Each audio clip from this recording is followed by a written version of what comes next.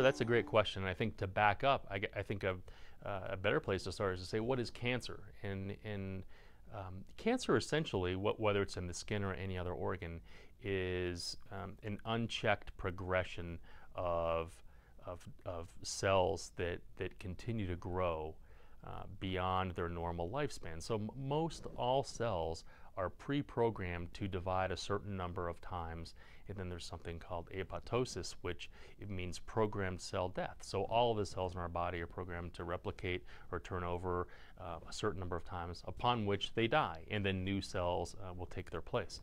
So in cancer, for some reason, the um, the brakes on uh, programmed cell death are not working. And so those cells continue to replicate uh, and not die. But when they do that, they don't do that properly. And so their DNA is, is, is changed to, um, uh, to a certain point where um, the cells aren't necessarily as specialized as the original uh, parent cell is. So in skin cancer, there are various types of skin cancer, but for instance, the most common type of skin cancer is called basal cell carcinoma.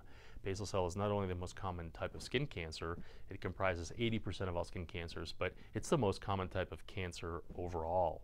Um, basal cell carcinoma originates from the basement or, or basal cells um, in the epidermis. So the layer between the epidermis and dermis is called the basal cell layer or basement membrane. And so um, basal cell carcinoma is uh, basically an, an, overgrowth of those cells, usually caused by uh, something that would mutate those cells. In our case, the vast majority of cancer in basal cells caused by ultraviolet radiation, which changes or alters the DNA, uh, thereby allowing cells to continue to grow out of proportion or, or conversely not um, stop and, and die after so many um, replications or cell turnover.